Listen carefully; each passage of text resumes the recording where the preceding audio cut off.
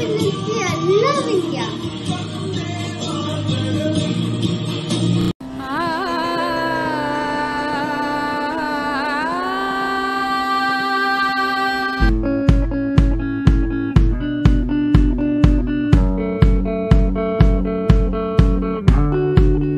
வணக்கம் and welcome to office delicacy இன்னைக்கு office டெலிகசியில் என்ன ஸ்பெஷல்னு பார்த்தீங்கன்னா இண்டிபெண்டன்ஸ் டேக்காக நாம் செஞ்ச tricolour tres leches cake wheat flour வச்சு ஹெல்த்தியாக and then natural colours use பண்ணி செஞ்சுருக்கிற கேக்கு வாங்க எப்படி செய்கிறதுன்னு பார்க்கலாம்.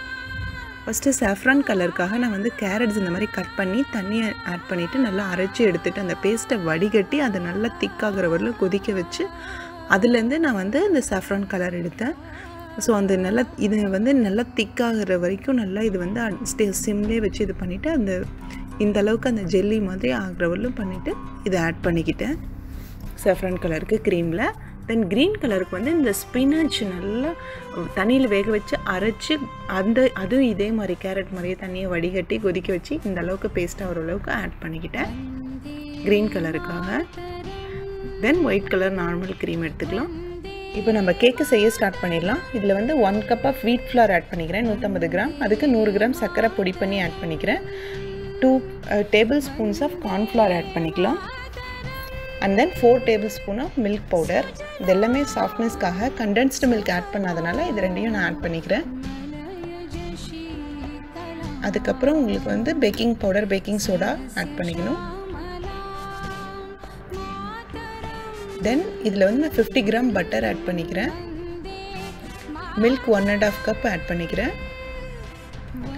ஃபஸ்ட்டு ஒன் கப் ஆட் பண்ணிவிட்டு அதுக்கப்புறம் லாஸ்ட்டாக ஆட் பண்ணிக்க போகிறேன் இது வந்து கண்டென்ஸ்டு மில்க் தான் மெயின் இந்த ட்ரெஸ் லீச்சஸ் கேக்கில் ஸோ அதை ஆட் பண்ணாதனால அந்த ஸ்டா சாஃப்ட்னஸ்க்கு திக் க்ரீமி மில்க்கும் அதுக்கப்புறம் மில்க் பவுடரும் நான் ஆட் பண்ணிக்கிட்டேன். இதை ஒரு பேக்கிங் ட்ரேயில் சேஞ்ச் பண்ணிவிட்டு இந்த கன்சிஸ்டன்சி பாருங்கள் இந்த அளவுக்கு இருக்கணும். அப்போ சாஃப்டாக வரும் கேக்கு இதை வந்து ஒன் எயிட்டி டிகிரியில் டுவெண்ட்டி மினிட்ஸ் பேக் பண்ணால் ஃபாஸ்ட்டாக ரெடி ஆகிடும் கேக்கு ஸ்டவ்லேயும் வச்சு நீங்கள் இதை பேக் பேக் பண்ணிக்கலாம்.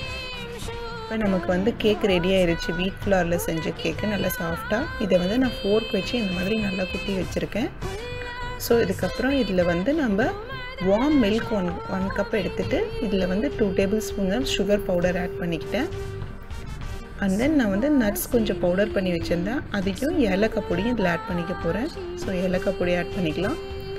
பாதாம் பிஸ்தா முந்திரி இதெல்லாம் ஆட் நல்லா அரைச்சிட்டு இந்த மாதிரி கொஞ்சம் ஆட் பண்ணிக்கிட்டேன். ஒரு ஒன் டேபிள் ஸ்பூன்